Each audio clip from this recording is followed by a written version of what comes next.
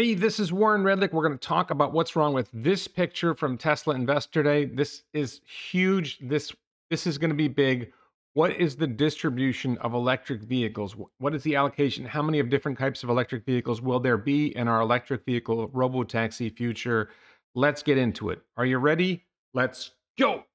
Before we dive in, I'm wearing the Baglino Fan Club t-shirt, t-shirts at elonbits.com. You can also get stainless steel water bottles like Elon and Tesla water bottles at elonbits.com. Drew Baglino, if you don't know, is the number two guy, arguably at Tesla, number two or number three guy at Tesla. He appeared with Elon at Battery Day. He appeared with Elon at Investor Day uh, and was on the stage at Investor Day a lot. So let's dive into this picture. So, what we have here is a slide talking about the transition to our sustainable future. This is a whole conversation about the transition to the sustainable future. And Elon and Drew said that the switch to electric vehicles gets us 21% of the way to full sustainability. Heat pumps matter, generation matters, but they're saying that 21% of the gain is the switch to electric vehicles, and that's going to require a $7 trillion manufacturing investment. This is really substantial. There's other stuff I'm going to talk about in a future video about how some of the other aspects of the transition to sustainable energy are much more affordable. This 7 trillion is out of 10 trillion total. So the other 80% of the transition is going to cost $3 trillion. So this is a huge chunk, but this is a necessary chunk.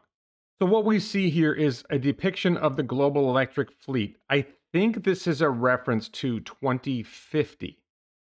This is not 2030. We're not going to have this many electric vehicles by 2030. This is somewhere in the future. Maybe it's 2040. My sense of everything I saw was this is actually their vision for 2050, which is looking pretty far down the road since we're in 2023 what you see is 40 million vehicles of the SX class. Presumably, this includes other luxury electric sedans and other luxury electric SUVs, not just Tesla vehicles. Then you get 380 million of Model 3 and Model Y class sedans and SUVs. Again, presumably other companies are making them as well. Semi 20 million, 300 million of Cybertruck and an undisclosed other vehicle that most people think is a van and then 700 million of the robotaxi platform vehicle, which is presumably more than one vehicle. So I think this picture is wrong. Now, we're always wrong. We should strive to be less wrong. The odds are that Elon and Drew have a better vision of the future than I do. But when I look at this, this just doesn't make sense. When I think about a robotaxi future, I envision a world going forward where the vast majority of the population chooses to ride in robotaxis rather than owning their own vehicles. Now, look, I'm wealthy. I'm probably going to continue to own my own car. A lot of the people who watch this channel are Tesla shareholders. You're wealthy. You're going to own your own car. It's hard to put ourselves in the mind of people who, for whom it's a struggle to own your own car. And if we're heading to a world, if you look at uh, Cathie Wood, ARK Invest projection of the future of a robotaxi world, it's going to cost 25 cents a mile for a ride in a vehicle like the Tesla, the future Tesla robotaxi vehicle. And currently, the cost of owning a vehicle is around 70 cents a mile. So if you can ride around without having to worry about a car, that basically, if you're able to ride in the equivalent of Ubers for one tenth of the cost of an Uber and one third of the cost of owning your own car, a lot of people are going to say, I don't want the hassle of owning my own car if I can get rides quickly and easily and make my life more convenient. People think that this is crazy. People are going to want to own their own cars. No, owning a car is a hassle for most people. Number one, it's a cost. Number two, you have to have a place to keep it. There's all these things associated with owning a car. You've got to change the tires, you've got to change the windshield wipers, maintenance. There's all these things that go on with a car. And you know, vehicle registration, getting it washed, all these things that if you live in a robo-taxi world and you just the robo-taxi life, you don't have to worry about any of that. You just get a ride when you need it. And if the robo-taxis are very, very common, if the wait for a ride is two or three minutes, and the ride drops you off at the front door of the place you're going and picks you up at the front door of the place and as opposed to you having to park a quarter mile away or hundreds of yards away if it removes a lot of those frustrations for you then for a lot of people that's going to be better. So if you step away from people who live on $200,000 a year and you go to people who live on 40 or $50,000 a year and you realize how difficult and challenging life is for them this is the vast majority of the world's population so I don't think there's that much of the world's population that is going to decide to own 420 million of these vehicles. That's this is the ultimate challenge is, you know, the 40 million are there that many rich people? Are they going to choose to own high-end luxury vehicles? Yeah, maybe. But when you get to this balance here, the fact that there's only 700 million robo-taxi vehicles when I think that 80% or 90% of the world's population is going to choose this over this. They're going to choose this life. So that's one problem. Now another problem. Let's talk about this robo-taxi platform vehicle in 700 million uh, units, okay? Currently, there's somewhere in the ballpark of 2 billion vehicles in the world. And Elon has said, and I think he's actually underestimating, that a robo-taxi vehicle like this will replace five internal combustion engine vehicles because it drives itself. So the robo-taxi will drive, let's say, 10 hours a day instead of two hours a day. Now, I actually think they're going to drive 16 hours a day instead of 10 hours a day, and they might replace eight regular vehicles as opposed to only five. But let's go with five. Elon says that each robo taxi is effectively going to replace five people. They're going to be five times more valuable because they'll be able to drive five times as many hours. If you take the 700 million of these vehicles and you multiply by five, you get 3.5 billion vehicles. So if these are robo taxis, they're not just replacing the global fleet of 2 billion vehicles, they're replacing more than the global fleet. And you have these other vehicles, some of which will be, you know, Cybertruck will operate in a robo taxi form. This van is probably going to operate as a robo taxi. Some of the threes and Ys will operate as robo taxis. Maybe the S's and X's won't so much, but you've got a total of 1.4 million vehicles. And if they're five times as useful as the previous generation without self driving, then you've got 7 million, the equivalent of 7 million vehicles. You've replaced your 2 billion vehicle fleet with the equivalent of 7 billion vehicles. So that doesn't really add up. We don't need this many vehicles in a robo taxi world unless we start using transportation more. If the robo taxi world radically improves our economy, makes it easier for us to travel more, makes uh, makes our lives better, makes us effectively wealthier, even if we're not numer- nominally wealthier. If the cost of a lot of things goes down, and we decide, well, transportation's really cheap now, I'm going to take more trips, then maybe that three x's demand for rides, maybe three and a half x's demand for rides. I'm not sure about that. So that's one problem is this math doesn't add up. If you take that math and you say, well, we're going to 5x, so again, I think I think you're actually 8xing their utility. I think that these vehicles are going to drive 16 hours a day instead of 2 hours a day. And that's just nuts. You know, 8 times 1.4, you're over 10 billion vehicles. That the equivalent of 10 billion vehicles. So is global are people going to use transportation 5x more? I think population is probably going to be peaking around that. It's not like population is growing and we're going to have, you know, five times as many people to use these this transportation. This is the challenge and the population is aging and when people get older, they're probably not going to travel as much. You know, at a certain point, past a certain point, past say 80 or 90 years old, they're not going to travel as much. So that's one problem. But my biggest problem with this is the distribution of vehicles should be a lot more shifted towards the robo taxi platform vehicle. It's going to be much less expensive. It's going to be half the cost, right? half the cost of the 3 and Y platform. The demand for that is like 10x the demand for these vehicles. The total addressable market for this is much larger. So I see the future being much more heavily shifted towards this robotaxi platform vehicle. And then you have this van. We think it's going to be a van.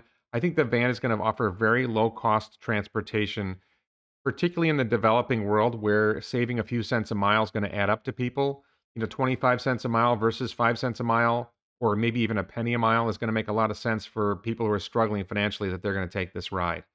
Cybertruck, I don't, you know, I'm guessing that the vast majority of the 300 million is this van v- version rather than Cybertruck. Cybertruck's market is pretty much the United States and not not a whole lot of other places. I don't haven't seen any plans for Tesla to sell Cybertruck in other markets. It's probably predominantly a US, North America, Canada, maybe a little bit Australia, but a small Australia is a small country. I don't see a lot of other places that Cybertruck's going to rock in.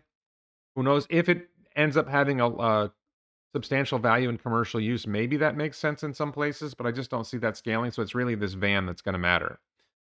The third thing that troubles me about this, and for those who follow me know probably know where I'm going already, is this vehicle is going to get the cost down to let's say 25 cents a mile, and that's not low enough to really accelerate the entire world's transition to sustainable energy.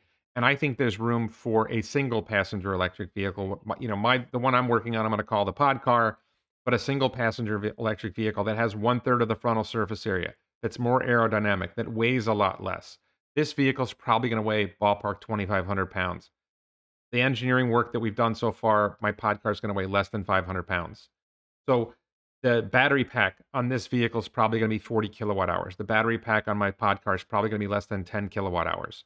So you're going to be able to accelerate mm-hmm. the transition to sustainable energy for people who can't afford to live like we do.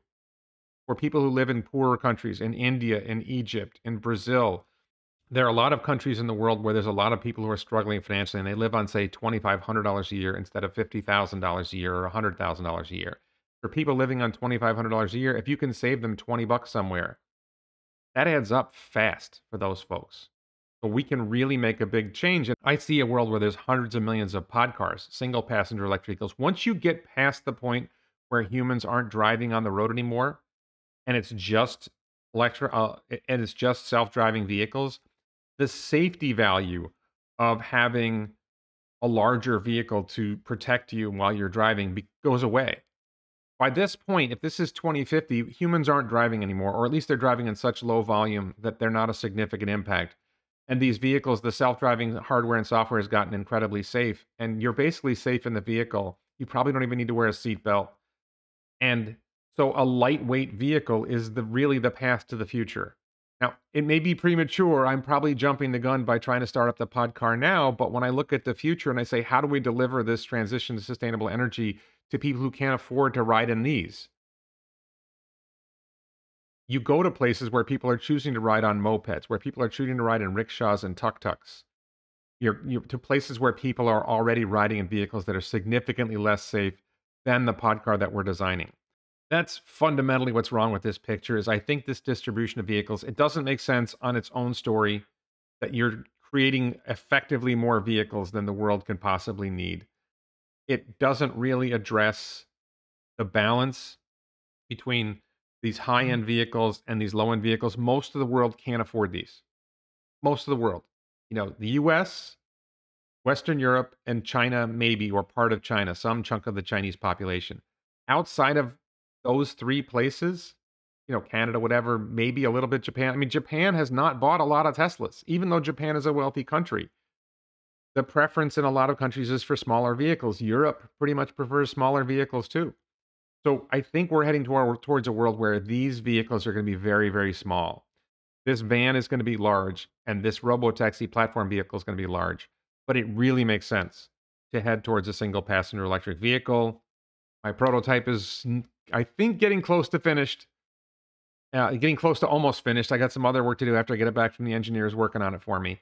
And once that's done, I expect to take this forward and, and we'll see. But it's not just me. Like, you know, I think that we will see the future has to trend towards that. And this is an example where I feel like I feel like Elon is missing. It's just stunning for me to say this. I feel like Elon is missing first principles thinking. He said at Autonomy Day that 80% of all trips are a single passenger going from point A to point B. Well, then, from first principles thinking, you should be thinking what's the most efficient way to transport one person from point A to point B? And choosing a 2,500 pound vehicle with 30 square feet of frontal surface area over a 500 pound vehicle with 12 square feet of frontal surface area. It doesn't make sense from a first principle standpoint. This vehicle is probably going to get six miles a kilowatt hour the pod car I see getting 20 miles a kilowatt hour. That may be over optimistic, but 15 seems almost obvious. That lighter weight means less tire wear. There's so many reasons why that's a much better way forward for the future. What do you think about the future distribution of vehicles? Am I wrong? What am I missing? How can I be less wrong? Is Elon wrong or Drew, Drew wrong? Are they less wrong? How can we be less wrong? What do you think? Please let me know in the comments below. Check out the t shirts and the stainless steel water bottles at elonbits.com. Please check out my other videos. Support me on the Locals platform on Patreon or as a YouTube channel member. And also subscribe to me now on Twitter. Just real quick to thank Fred Jessup from Sugar Slice who sent me this Tesla lamp. I don't know what we're going to call it. It's really cool. It actually looks better in person than it looks on video.